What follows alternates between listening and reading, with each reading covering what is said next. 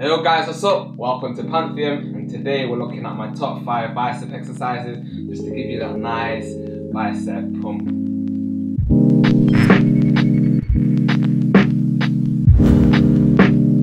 Now, my first exercise is a straight barbell curl.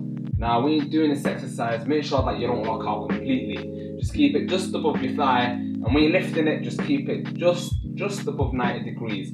This is so you don't lose that tension within your bicep. And also when you're doing this, make sure that you don't jerk. So if you're feeling that you're having to, you know, jerk with the weight, then just lower the weight and make sure that you actually have the form right and you're actually keeping it pumping rather than using your whole body to lift the weight.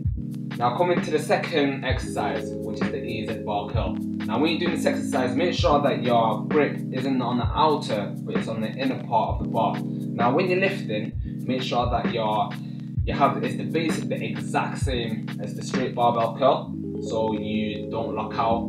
And when you're doing this exercise, make sure that your elbows are pointed outwards. So when you're lifting it, you have that tension on the head of the bicep, and you just have that just that constant strain on your um, on the head of the bicep and just carry on pumping through it.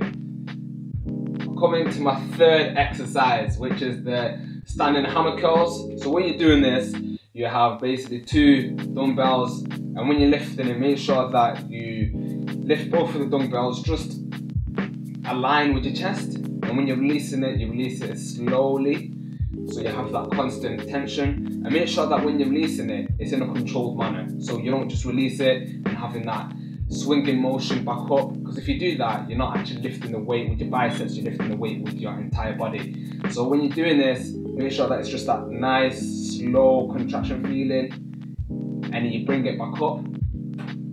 Just to give you that nice pump feeling. All right now coming to my fourth exercise which is the single arm preacher curls now, when you're slowly releasing the, when you're slowly releasing your arm, make sure that you don't lock out. Same when you lift it up, just keep it just above 90 degrees.